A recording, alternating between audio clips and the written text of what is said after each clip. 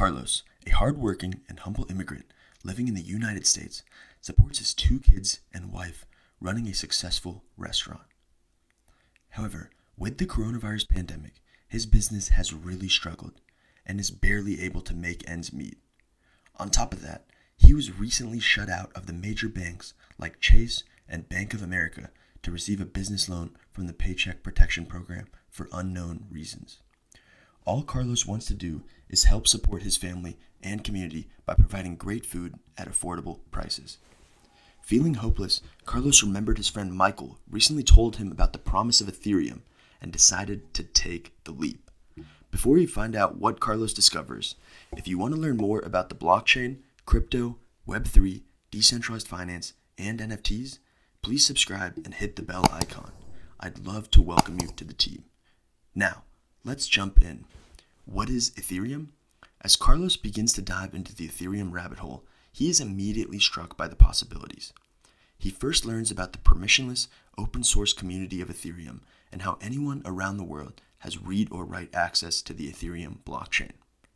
Second, he is impressed by the decentralized nature of Ethereum, meaning no middlemen, lower fees, and a censorship resistant platform.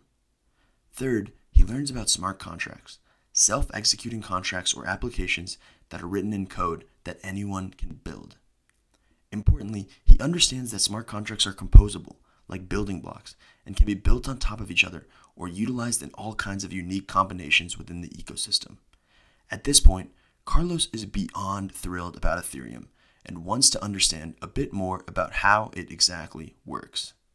So, Carlos learned that, like Bitcoin, Ethereum has a blockchain at the core of its ecosystem.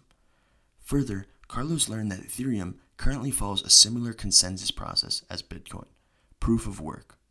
Proof of work is out of the scope of this video, but in short, it is how networks like Bitcoin and Ethereum can be decentralized, secure, and open. In proof of work, nodes or computers called miners help maintain the Ethereum ecosystem and earn Ether for their work, the native Ethereum currency. Users pay a fee in Ether called gas when interacting with the Ethereum ecosystem. Unlike Bitcoin, the Ethereum blockchain was also designed to support smart contracts or applications. Developers around the world can build applications or smart contracts in Solidity, Ethereum's general purpose native programming language. Carlos knew this was huge. The flexibility of Solidity and the open and interoperable nature in the Ethereum ecosystem have facilitated the development and adoption of disruptive applications in finance, gaming, and art, most notably. At this point, Carlos knew he had to keep digging down the rabbit hole of Ethereum and beyond. Carlos kept seeing ETH2 and was curious what it meant. He learned that while Ethereum is an incredible innovation, it currently has a few issues and could be improved upon. Most notably, Ethereum has scalability and environmental issues and could potentially be more secure. Transaction fees can price out many people, and the architecture is not efficient. This is out of the scope of this video, but most notably, Ethereum 2.0 involves transitioning to a different consensus process called proof of stake, as well as a few important architecture changes. Now, Carlos kept diving into the different use cases gaining traction in the Ethereum ecosystem in hopes of saving his restaurant business. At the end of the day, that's all he wanted to do. First stop, NFTs. It was all the hype these days, and Carlos was determined to understand them. In short, he learned that NFTs were unique data like a piece of digital artwork and could be verifiable on the blockchain, a powerful opportunity for creators and consumers to interact. Up next, decentralized finance. Carlos was still very desperate for a loan after having been denied from major banks. He would quickly learn that DeFi would warmly welcome him without knowing who he was.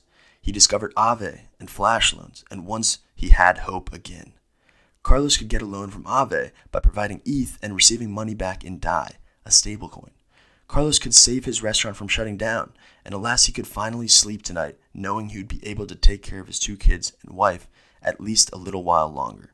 Thank you to Ethereum, DeFi, and its incredibly special community, Carlos was able to get a loan without no one knowing his identity and with minimal fees.